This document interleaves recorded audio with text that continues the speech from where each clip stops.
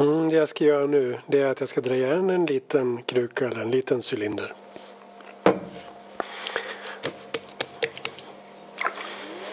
Principen för centrering är densamma som när jag hade en större klös. Jag trycker först ner så att jag är säker på att den fastnar på drejskivan. Vänster armbåge i magen. Ifrån mig lite grann. Fingrarna omlott. Lyfta upp och trycka ner.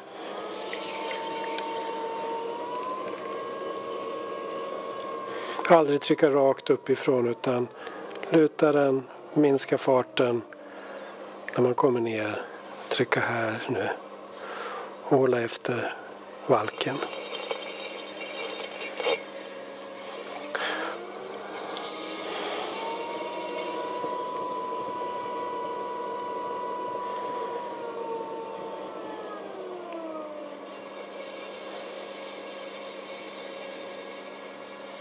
Så.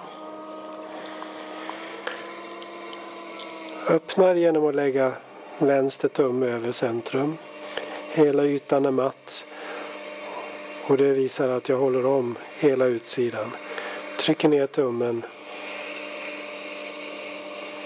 med hjälp av höger pekfinger.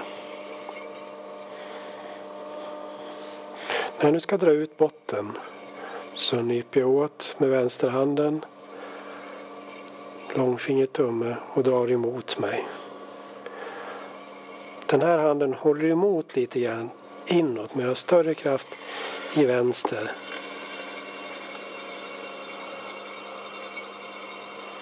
Så.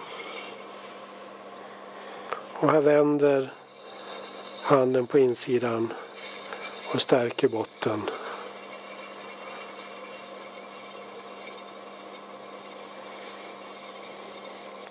Och det här gör jag några gånger för att förhindra bottensprickor. Nu är då väggen tunnare längst ner. Här har jag en kraftigare valk. Och innan jag börjar lyfta upp den här valken så ska jag få ihop den så att väggen lutar lite inåt. Så då måste jag vinkla ner vänsterhanden här. Tummen ligger kvar på utsidan. Så mellan en punkt här på vänsterhanden och här på högerhanden så klämmer jag ihop leran. Och så ligger tummen under. Och så fortsätter jag klämma ihop och klämma ihop och lyfta uppåt. Under tiden som jag gör det så sträcker jag på, på långfingret.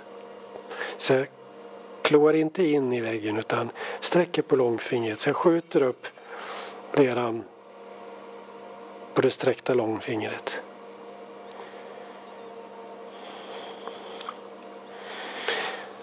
Jag kan också låta det greppet övergå i att lyfta med den här delen på höger handen.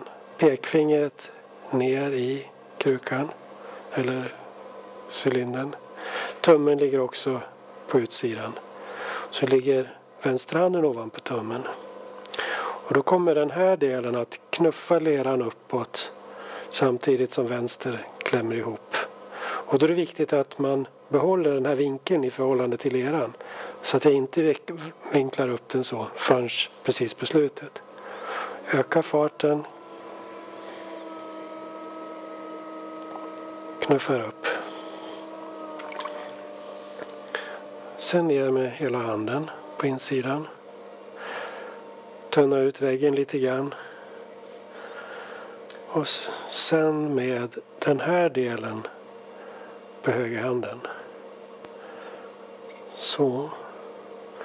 Den knuffar upp. Tummen ligger lite högre upp och styr. Handen på insidan, då är det långfingertoppen som jag jobbar med. Och den ligger riktad mer eller mindre rakt in i väggen. Här innanför. Så att den punkten som jag jobbar med på utsidan ligger lite lägre än den punkten jag jobbar med på insidan. Här kommer jag vara på utsidan och här innanför på insidan. Så. Och sen tar jag sikte på, på kanten för det är dit upp jag ska med leran då. Så lyfter jag den uppåt. Sen kommer tummen bakifrån. Den tummen och smyger upp och lägger sig på kanten.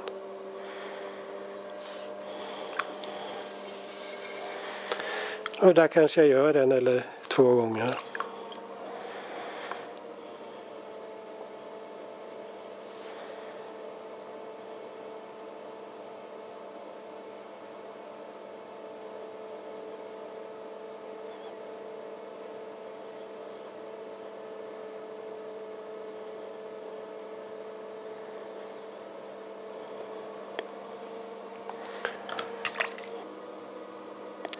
Det är väl så man gör en cylinder. Sen använder man ju den och, och kanske gör kanter eller någonting.